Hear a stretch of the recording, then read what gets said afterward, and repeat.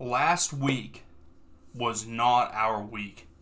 We only guessed four, four of the outcomes right. Probably one of the worst weeks we've ever had picking on the channel here. But we're on to week five. It was a very weird week, in my opinion. And this one might be even weirder because of all of the international duties, all the international call ups. I don't know how to pick this week because there's some teams that do not have any call ups, and then you have some teams that have like seven guys out, and you're playing your backups, backups.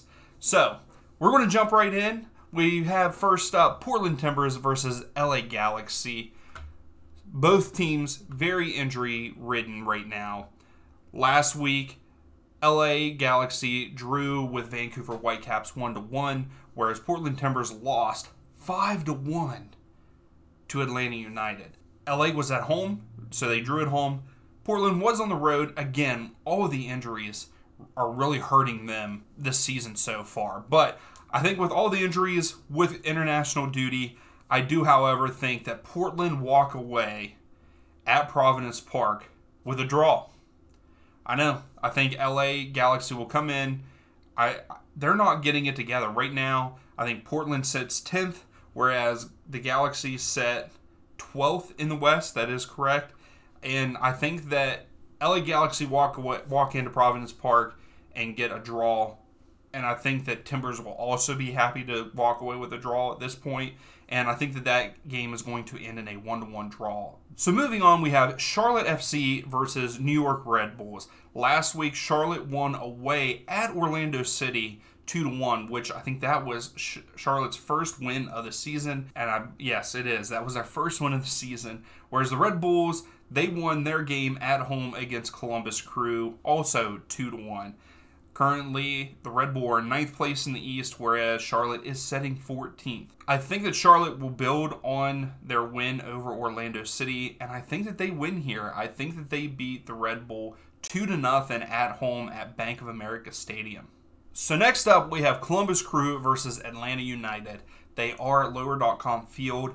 Columbus Crew did lose last weekend 2 to 1 over the Red Bulls like I said previously, whereas Atlanta United won 5 to no, 5 to 1 over the Portland Timbers. Should have been 5 to nothing, but currently Atlanta are first in the East and Columbus Crew are 12th in the East. Atlanta is one of the teams that have like 7 guys out on international duty and some very key players. Whereas the Columbus crew, I think, maybe have one, maybe two guys, maybe none. And that's going to play a big role here. I really want Atlanta to win, and I would love to see them win this match, but I don't think they will. I think that we have too many starters gone.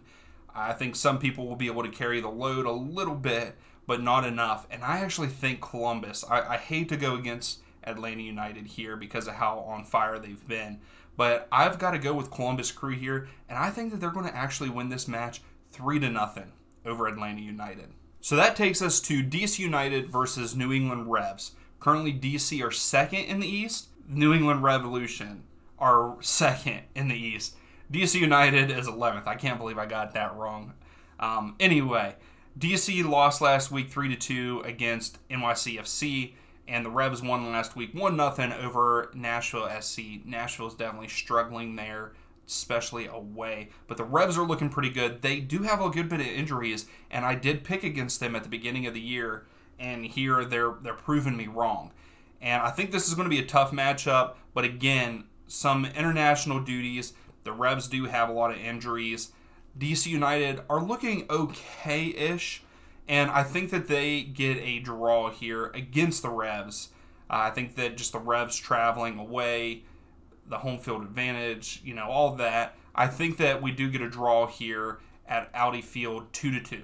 So that leads us into Inter Miami versus Chicago Fire. Currently, Miami is sitting seventh, whereas Chicago Fire are 15th there in the East. Inter Miami lost last week 2 to nothing against Toronto where Chicago Fire drew with FC Cincinnati three to three, and they blew it. They were up at one point in time, I, I believe, three to one against FC Cincinnati, and they came back. They really, really blew it there, in, in my opinion. Inter Miami have a lot of injuries again. Just like there's a lot of teams with a, a good bit of injuries. Also, Chicago Fire have some.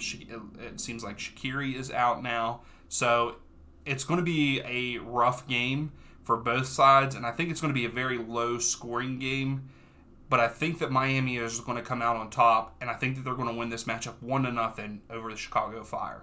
So next up, we have Philadelphia Union versus Orlando City. Currently, the Union set sixth where Orlando City 6 set 10th. Both of these teams lost last week. Philadelphia lost to Montreal away. Orlando City lost to Charlotte at home. So these two teams definitely should have beat the teams that they faced last week, in my opinion. Uh, Union should have ran all over Montreal, but that is actually one of the games that we picked correctly. I did have Montreal upsetting the Union there. Carranza is out with a red card for the Union, and still no Andre Blake as far as I know. So that that definitely hurts them for this matchup. I don't know how much though because I think that they are a better side than Orlando City and they are back at Subaru Park. I think they get the dub here. I do think that they win 2 to 1 over Orlando City. So that takes us to our first West Conference game, Austin FC versus Colorado Rapids. Currently Austin are 6th in the West. Colorado is 14th in the West. Austin lost last week against the Houston Dynamo 2 to nothing. What has happened, Austin? What has happened? I don't understand. I, I just don't. It's hard for me to believe. As for Colorado, they lost to Minnesota United at home 2 to 1. This this is going to it was hard for me to determine this game just because I don't know what Austin we're going to get. Colorado has a lot of injuries. They're not that great, in my opinion. They are actually, for the supporter shield, they're 29th out of 29 teams. That, that's what it is. So, what Austin, if Austin shows up to play, which I got a feeling they are, I think they have something to prove here. Yes, they are in sixth place. That is a playoff spot. I understand. Well, pretty much everyone makes the playoffs. But anyway, uh, I think that Austin shows up at Q2 Stadium in front of their home fans this game, and I think that they beat Colorado, a injury-ridden Colorado, three to one there at Q2. So now we have Houston Dynamo versus NYCFC. In, NYCFC are currently fifth in the East, where Houston is actually eighth in the West. Last week, both of these two teams won. Houston won two to nothing over a Austin team that we just talked about, and NYCFC won against DC United three to two at home. The future's looking a little bit brighter for both of these teams. Um, I thought that NYCFC were going to be worse than what they are doing right now. They are currently fifth, like I said. But I got a feeling Houston's going to build on this momentum that they got beating Austin. And I believe that they will beat NYCFC here 2 to 1 at Shell Energy Stadium. So moving on, we have Minnesota United versus Vancouver Whitecaps. Minnesota are currently fifth in the West, whereas Vancouver are 11th. Minnesota do have some injuries. Vancouver only has a couple. Minnesota did win on the road against Colorado last week, two to one, and the Whitecaps drew with LA Galaxy one to one on the road. So that that is almost a win for the Whitecaps, in my opinion. I do believe that Minnesota are going to be in that top five in the West for the whole season. But at the same time, I think the Whitecaps are going to build off the LA Galaxy draw. And they're not going to get a win here, but I think we're going to get another draw. And I think it's going to be a one to one draw. So that takes us to Nashville SC versus FC Cincinnati. Currently, Nashville are fourth, whereas FC Cincinnati are third there in the East. Nashville have a couple of injuries I think they have some call ups. I also think that Cincinnati had some call ups. Last week, Nashville did lose to the Revs. FC Cincinnati drew with a comeback against uh, Chicago Fire there, three to three. I think that FC Cincinnati go on the road here to Geodis Park. They don't walk away with a win here, but I think that they do draw there in Nashville and I think it's a two to two draw. I think Nashville are struggling right now. They're struggling. They need a scorer. They need a striker. In my opinion, uh, Sapong just might not be the answer anymore. So they need to move on from him or bring in someone to play alongside him. But I do believe that these two teams end up in a 2 to 2 draw there at Geodis Park. So now we have Sporting Kansas City versus Seattle Sounders. Seattle are currently third in the West, whereas Sporting is 13th in the West. A lot of injuries again for a team here with Kansas City and Seattle. They have two injuries. Héber's still out, which kind of sucks because he just went there this year. It would be nice to see him play more, but Seattle are looking really good. Yes, they drew last week with LAFC 0 to 0, which was a very crappy game. Uh, from what I heard in the first half, I watched the second half. It was very boring. Sporting Kansas City lost on the road to FC Dallas 2 to 1. I think that we're going to see some goals in this matchup, and I think that the road team is going to win. I think Seattle is just a lot better side than Sporting Kansas City, and I believe that they win this matchup 3 to 2 over Kansas City. So we have a big matchup here. We have Real Salt Lake versus St. Louis City. St. Louis City are still undefeated, which I think has surprised everybody around MLS. I think that they I don't think anybody thought that they would be this good. Could be wrong. There might be a couple people out there, but I, I don't know. And then you have Real Salt Lake. They are sitting ninth in the West.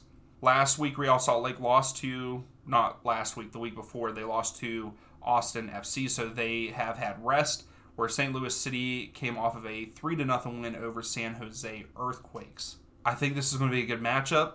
I think it's going to be a good game. I kind of wish that we could live stream this game, but I am out of town, so there will be no live stream on Saturday because of that. But I think this game is going to end up in a draw.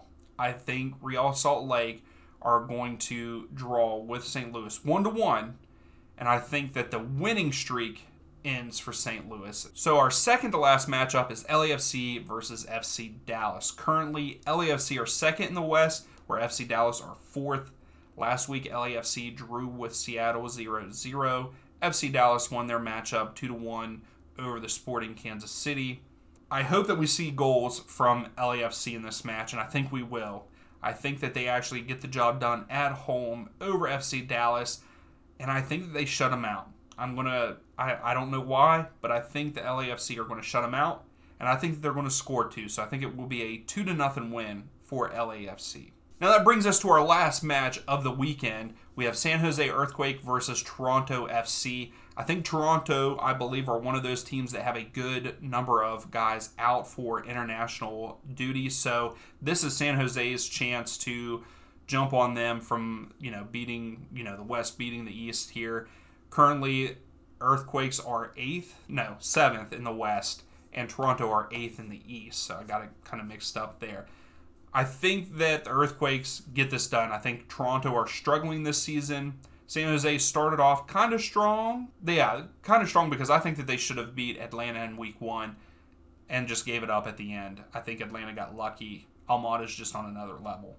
But I think that they get this the job done at PayPal Park, and I think they win this matchup one to nothing over Toronto FC. So that is all the games. Thank you for watching. Please give the video a thumbs up. Subscribe to the channel. Again, like I said, there will be no live stream this weekend. Unfortunately, I am out of town, but next weekend we will for sure be back. I will put a poll out, so keep an eye on that. And until the following week, we'll see you then.